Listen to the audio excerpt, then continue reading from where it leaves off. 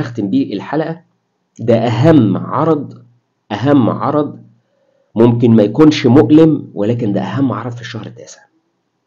اهتمي بهذا الجزء من الفيديو. وقسما برب الكعبة ده أهم جزء في الفيديو. بسم الله والصلاة والسلام على رسول الله. صلى الله عليه وعلى آله وصحبه وسلم. ومن والاه. طبعا آه، بالتأكيد في آلام بتمر عليها. الحامل في الشهر التاسع. لكن في آلام بتبقى طبيعية ما نخافش منها دي آلام بسبب الشهر التاسع والتطورات اللي بتحصل في الشهر التاسع. لكن في آلام تانية غير طبيعية تستوجب مننا إن إحنا نتحرك أو طبعا ولي الأمر يكون على اتصال مع حضرتك ويتحرك بيكي إلى أقرب مشفى. أو يتصل بالطبيب لسرعة الإسعاف. مش سرعة الإسعاف هيحصل لك حاجة لكن إحنا بنتكلم عن حاجة مهم إن إحنا نتوجه بها إلى الطبيب. طيب نبتدي بالحاجات الطبيعية اللي ممكن تحس بيها أي آه، حامل في الشهر التاسع. ممكن تحسي مثلا بآلام في الظهر. ده شيء طبيعي. زيادة الوزن زيادة ضغط الجنين على العظم والعضلات ده هيخليكي تشعري بشوية آلام في الظهر. خلي بالك ألم الظهر اللي بيجي ساعات بيجي مع الراحة بيروح فما تقلقيش منه طالما مع الراحة بيروح أو على الأقل بيخف شوية.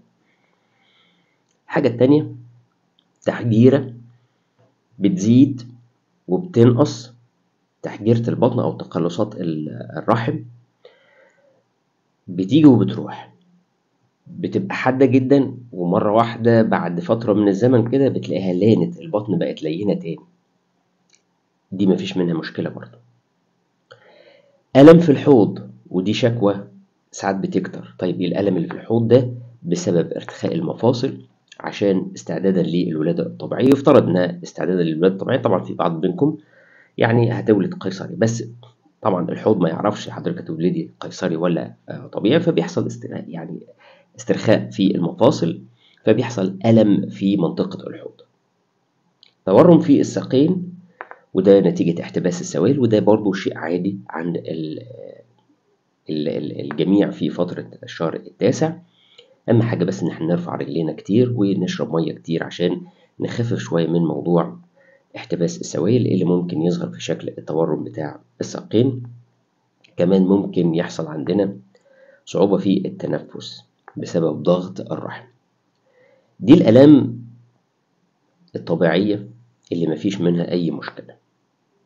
لكن في بقى آلام هي دي مربط الفرس اللي لازم يتوجه ولي الأمر بحضرتك ولي الأمر بقى كان والدك كان زوجك كان أخوك كان ابنك الكبير أيا كان. لو لا قدر الله لقينا نزيف نزيف مهبلي.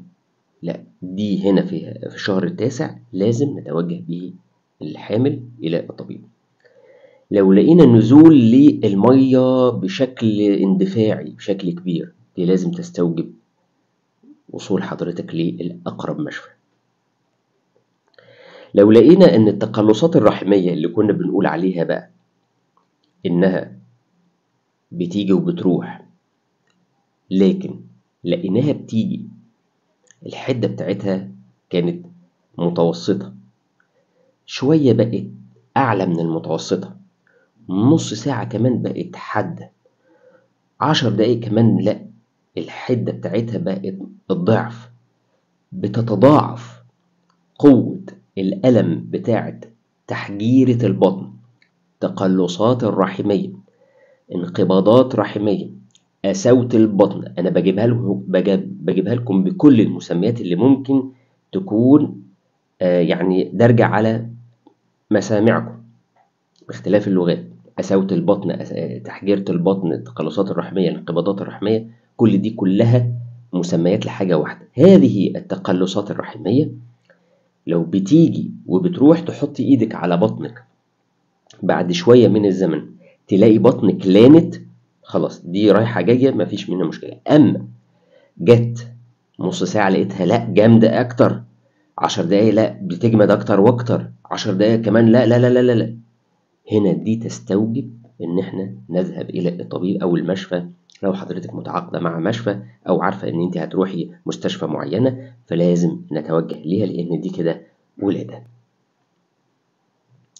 لو لقينا صداع شديد جدا وزغلله في العينين نقيس الضغط لقيناه عالي لازم نتوجه للطبيب. أي صداع بيجي لأي حامل لازم أتأكد من حاجتين. طبعا إن أتيح الأمر إن إحنا نتأكد من الضغط والسكر. طبعا السكر ساعات بيبقى عندنا مشكلة إن إحنا لازم نروح لجهاز يقيس السكر والكلام ده لكن الضغط مهم جدا إن إحنا نتأكد من إنه مفيش ارتفاع في الضغط. لكن لقينا ارتفاع في ضغط الدم مع هذا الصداع لازم نتوجه للطبيب أو نتصل بطبيب عشان يوجهنا نعمل إيه عشان ينزل هذا الضغط على حسب طبعا الدرجة بتاعته.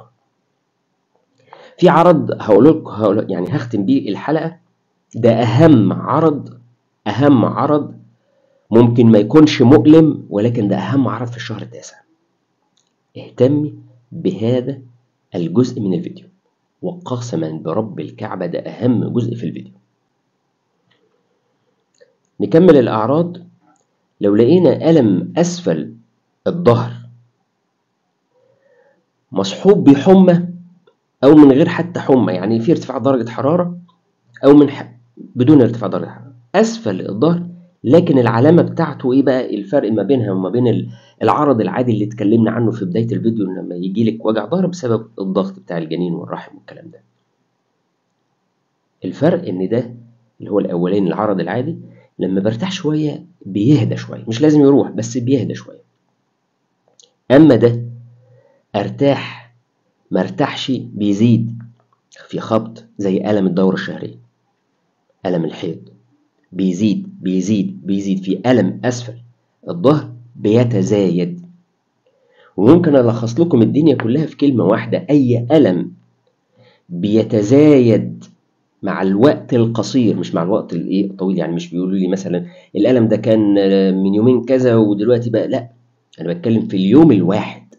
لو ألم أي ألم ألم أسفل البطن ألم أسفل الظهر تقلصات الرحمية لو بيتزايد في الوقت القصير في حدود الساعة والساعتين بيزيد بيزيد بيزيد بيزيد بيزيد بيزيد بيزيد كان ال level بتاعه مثلا مثلا واحد من عشرة بقى اتنين من عشرة بقى تلاتة من عشرة بقى أربعة من عشرة بقى خمسة من عشرة بقى ستة وهكذا. أي حاجة بتزيد مع الوقت القصير اللي هو في حدود الساعة ساعتين لا دي لازم تستوجب إن إحنا نروح للطبيب أو المستشفى فورا. أهم عرض بقى على الإطلاق رغم إنه مش مؤلم. لو حسيتي لوهلة إن ما بقاش في حركة للجنين أو إن حركة الجنين اختفت أو خفت أو ونست بقت حاجة بسيطة جدا على عكس ما كانت موجودة. ده أهم عرض من الأعراض اللي تستوجب إن إحنا نروح على طول على المستشفى. وإحنا قلنا قبل كده مرارا وتكرارا عدد لعبات الجنين في الشهر التاسع لا تقل عن عشر لعبات في عشر توقيتات مختلفة خلال اليوم. وبرجع بأكد إن اللعبة غير الحركة. الفرق الفرق إن اللعبة ممكن تكون مجموع حركات كتيرة لكن في لحظة واحدة. يعني لو الجنين قعد يضرب بإيديه ويركل بقدميه ويتحرك يمينا ويسارا كل ده في وقت واحد أعد واحد. ما أعدش مثلا خمسة ستة لأنه اتحرك خمسة ستة في اللحظة دي لأ. أعد واحد. طالما مجموع الحركات دي كان بيلعب عشان كده اسمها لعبة كان بيلعب ثم سكت. بعد عشر دقايق ربع ساعة نص ساعة بدأ يلعب تاني. طب ممكن يلعب يضرب بإيده مرة واحدة كده؟ آه. حركة واحدة في لعبة واحدة هقول إنها لعبة تانية طالما في توقيت تاني. من حركة حركتين تلاتة في وقت واحد اسمها لعبة. إنما الحركتين تلاتة أربعة في وقت واحد ما اسمهاش تلات أربع حركات أو تلات أربع لعبات لا اسمها لعبة. يا رب تكون الحتة دي لأن دي نقطة مهمة جدا. ده أهم عرض على الإطلاق. أي اختلال في حركة الجنين وفي لعبات الجنين بتقول إن الجنين ده ما بقاش يوصله التغذية زي الأول. لازم يتعمل دوبلر يتأكد الطبيب إن الدم والأكسجين والمغذيات بتوصل للجنين زي الأول. لو حاجة اختل توازنها الطبيب ممكن يلجأ إلى الولادة لحماية الطفل ده إنه يفقد حياته لو قعد أكتر من كده. وده أهم عرض على الإطلاق. خلي بالكم أطفال كتيرة بتوصل للشهر التاسع جنين بيوصل للشهر التاسع ممكن يتبرز داخل الرحم ويبتلع البراز بتاعه يتغوط ويبتلع هذا ويدخل ده على الرئتين رغم إنه ده خلاص أخ... هي... أسبوعه هيتولد. فبتكون ده مشكلة كبيرة إن الطفل يتحط في الحضانة وحاجات كتيرة جدا. طب إحنا في غنى عنها إن إحنا ما نوصلش الموضوع ده لهذا الأمر؟ لو أنا حسيت إن الطفل أو الجنين حركته مش هي في حاجة غلط. فده أهم عرض على الإطلاق. بشكركم شكرا جزيلا. أشوفكم في حلقة تانية إن شاء الله. والسلام عليكم ورحمة الله وبركاته.